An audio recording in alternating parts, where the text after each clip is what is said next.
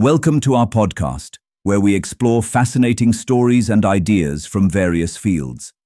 In this episode, we're exploring a world turned upside down.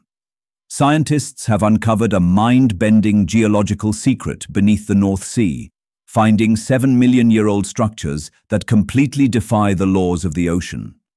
The North Sea, despite being extensively drilled for oil and hosting the largest number of offshore wind farms, is still a mystery to scientists. Under the sea floor lie enormous mounds of sand that stretch for several kilometers. Scientists gathered seismic data and rock samples to find out what was going on. They found that a rare geological process was at work under the North Sea. The older layers of sand are lying on top of younger ones, creating an upside-down environment. Two geologists think they have an answer for the mysterious structures. Professor Mads Huus of the University of Manchester said dense sand has sunk into lighter sediments that floated to the top of the sand. The mounds are 660 feet deep, and some of the sinkites and floatites are the largest of their type ever seen, Huus and co-author Jan Rudjord of Aker BP said. They are dated to the late Miocene and Pliocene epochs, making them four to seven million years old.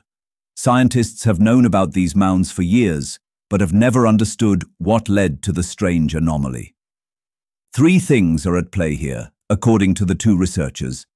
First is a deposit of rigid but light material, comprising mostly small marine fossils called biosiliceous ooze, they were formed when microscopic marine creatures bloomed as a result of the North Atlantic sending nutritious water upwards into the North Sea.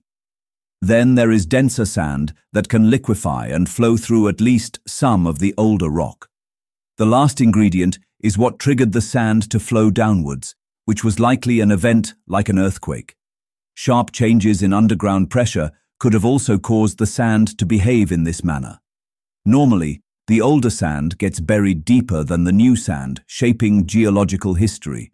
But in this case, the new sand went under the older sand, which is strange.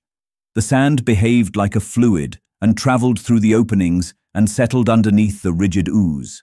Thanks for tuning in to this incredible story. If this episode resonated with you, don't forget to hit the like and subscribe button for more captivating stories to come. Stay tuned.